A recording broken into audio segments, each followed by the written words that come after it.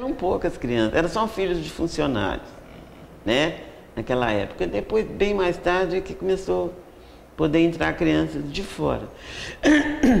Mas, naquela época, então, eram classes com 20, 25 alunos. São...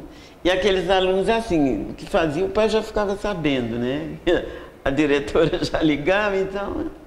Foi muito bom, muito gostosa a escola, muito boa mesmo. Os professores muito amigos, muito, sabe?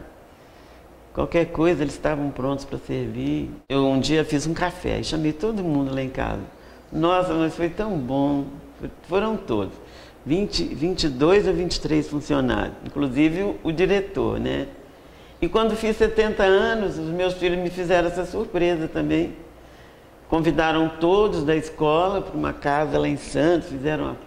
Quando eu cheguei, estava lá, todo mundo. Muito bom, é. São legais. Uma menininha, ela todo dia ela levava um, um comprimido porque tinha dor de cabeça. Aliás, não foi só essa, foram bastantes. Então já diziam assim, vai lá pede a tia o remedinho dela. Né? A gente sabia que era aquilo psicológico, não era dor que ela tinha. Todo dia ela tomava porque estava com dor de cabeça. Aí um dia a professora me chamou e falou, eu não aguento mais a Núbia, todo dia toma um AS porque está com dor de cabeça. Dá um remedinho seu para ela.